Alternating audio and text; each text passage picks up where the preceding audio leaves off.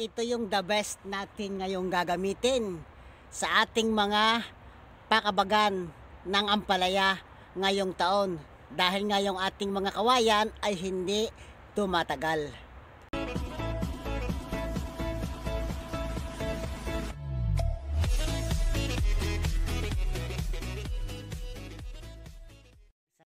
Muli po ako'y bumabati ng isang mapagpalang araw sa bawat isang nanonood sa aking channel. Dahil ngayon nga, eh, tayo nanditong muli sa ating pinagkakaabalahan kapag tapos natin ang ating mga trabaho.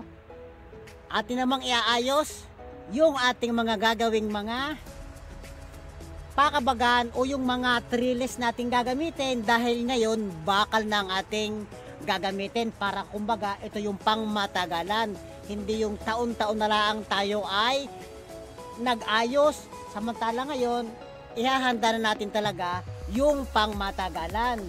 Kaya itong mga bakal na to, yung mga medyo mahahaba, ay ating itong puputulan. Yan, eko, yan.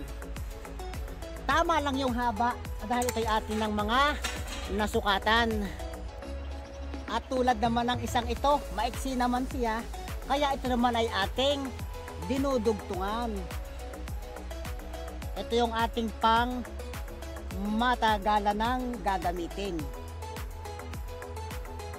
Sari-saring mga bakal ang ating gagamitin dito. Yung ating mga kung saan saan lamang nalilimot na mga pwede nating pakinabangan. Lalong-lalo na itong mga bakal na ito. Ito yung ilang poste nating gagamitin. Talagang ito yung pang heavy duty. Napakalalaki nito. Kaya umpisahan na natin muna ang maglagay nito. Ito pa ng ating paglalagay nito ng poste. Oh!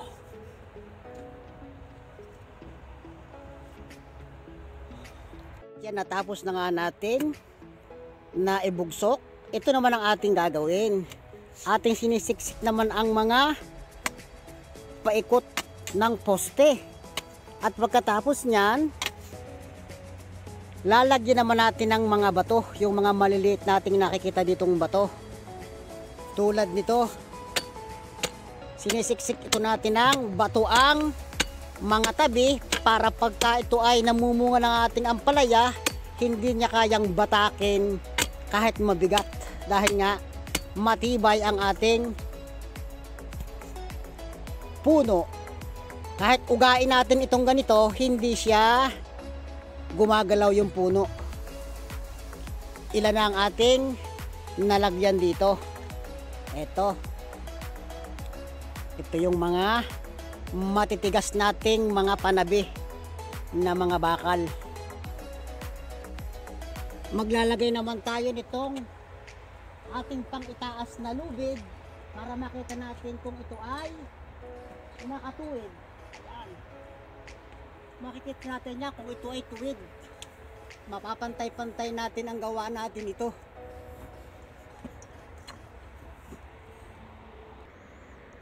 Nalagyan na natin ng lubid at kita natin kung alin yung mas mataas ng konti.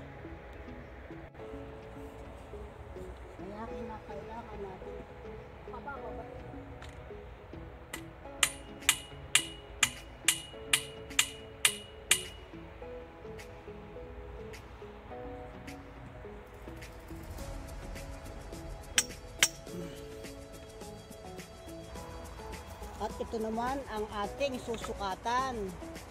Kailangan ay makuha natin yung tamang sukat.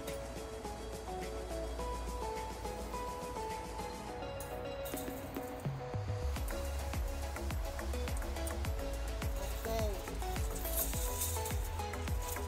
Mahigit na tatlong metro.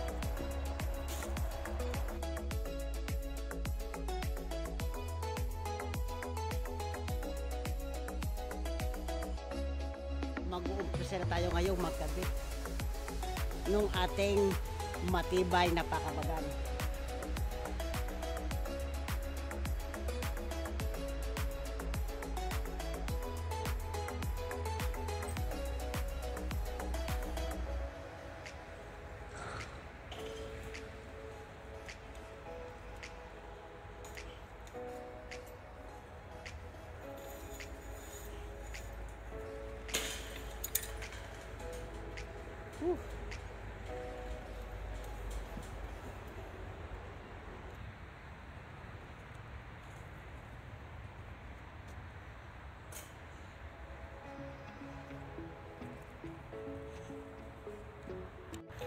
Yung magkabilang dulo ang ating ipoposisyon.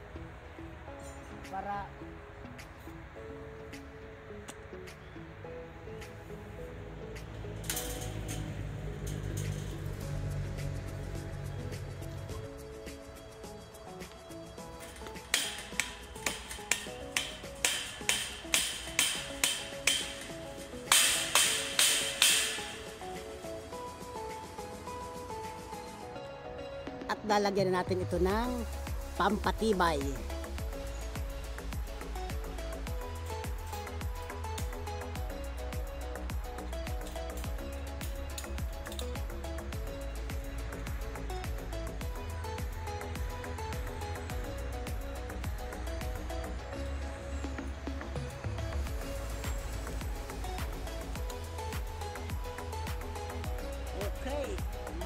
Matibay na matibay na nga itong ating ginawa dito.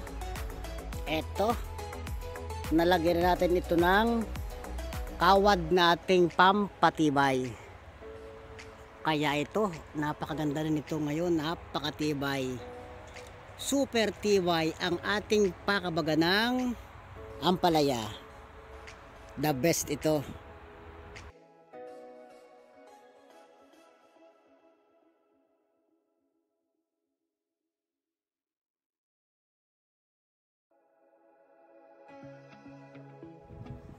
Ayan, ito po sa ngayon ang ating na-prepare para sa darating nating taniman ng ampalaya. Nakaapat na tayong hanay dito.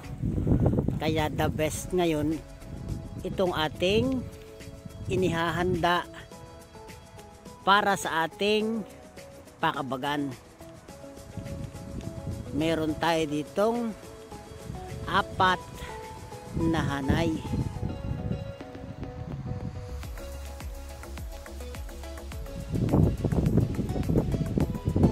For the first time sa ating matagal na pagtatanim dito ay ito yung ating naisip para nga naman hindi taon-taon na lang tayo mag-ayos ng ating pakabagan. Kaya ito ay first part pa lang ng ating trabaho dito.